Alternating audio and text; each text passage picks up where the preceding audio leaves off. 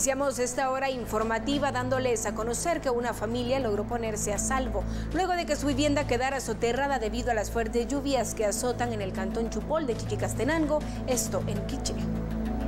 Seis miembros de una familia se llevaron el susto de su vida al ver cómo la tierra se deslizaba sobre su vivienda de adobe. Esto debido a las fuertes lluvias que azotan el país. El hecho ocurrió en el cantón Chupol, sector 1 de Chichicastenango, Quiché. Se dio un deslizamiento de suelo de medianas proporciones, pues afectando en un 75%, 80% la vivienda, ¿verdad? Pues era aproximadamente de 10 por 10 metros, ¿verdad?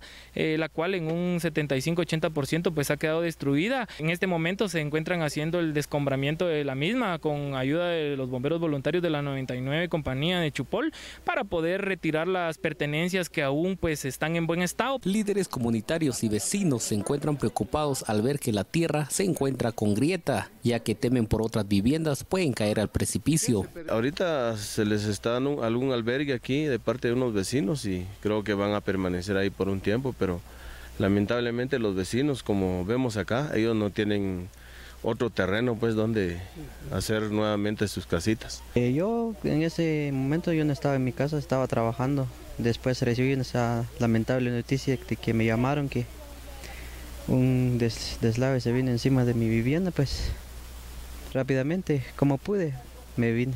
A ver, ¿en dónde? Porque igual es el único terreno que tenemos, pero estamos en, como te dijeron, como es muy peligroso, ¿verdad? Pero saber a dónde, a dónde podemos ir y el tiempo dirá.